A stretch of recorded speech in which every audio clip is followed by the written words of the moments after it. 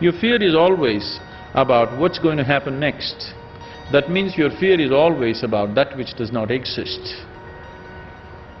If your fear is about the non-existent, your fear is hundred percent imaginary. If you're suffering the non-existential, we call that insanity.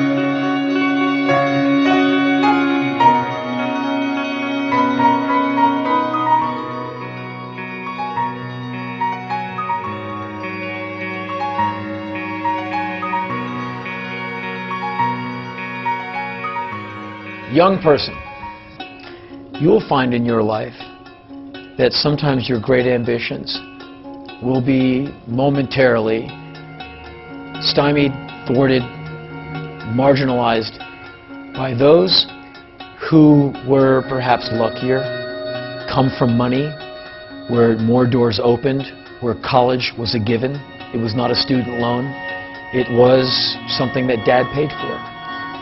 To where an ease and confidence in life was almost a birthright, where for you it was a very hard climb. And you will encounter people who never have to pay in full. They get to wreck the room and never have to clean it. They can get all the way through high school and never understand where a dollar comes from because they just get it given to them. Okay, that happens all the time. Just because you come from nothing, you must not let that be something that holds you back.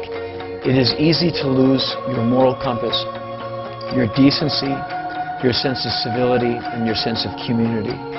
Very easy. People are getting a little desperate. They might not show their best elements to you. You must never lower yourself to being a person you don't like. There's no better time than now to have a moral and civic backbone to have a moral and civic true north. This is a tremendous opportunity for you, a young person, to be heroic, to be morally upstanding, to be helpful, almost Boy Scout-like, presidential, to be altruistic. Weakness is what brings ignorance, cheapness, racism, homophobia, uh, desperation, cruelty, brutality, all these things that will keep a society uh, chained to the ground, one foot nailed to the floor. It's by being strong in the face of all of that, not lowering yourself to it. You must really go for your own and realize how short life is. You got what you got, so you got to make the most of it. You really can't spend a whole lot of time worrying about his. You really have to go for your own. If you have an idea of what you want to do in your future, you must go at it with almost monastic obsession be it music, the ballet, or just a, a basic degree. You have to go at it single-mindedly and let nothing get in your way. And that's why you're young. That's why you can survive on no sleep, top ramen noodles, and dental floss and still look good. And take advantage of that great energy you have, the fact that you can do an all-nighter. All the people you admire, from Muhammad Ali to any politician. they work and work and work. Some of the greatest thinkers, artists, architects, politicians, and other movers, shakers, and creators all over the world have come from very meager beginnings. If these people can do it, why not you? You got to keep picking yourself up and reaching for it.